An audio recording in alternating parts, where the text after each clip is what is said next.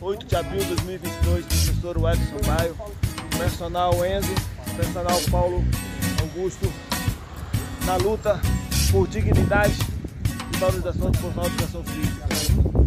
Apoio total à Lei 7.058 de 2022. O personal 3 não tem que pagar taxa.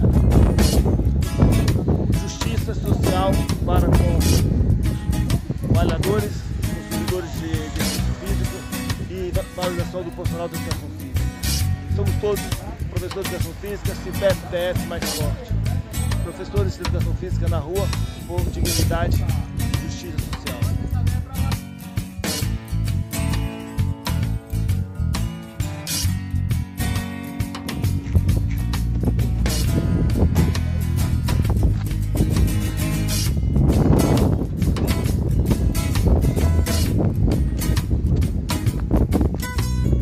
Luta, por respeito à Lei 7.058 de 2022.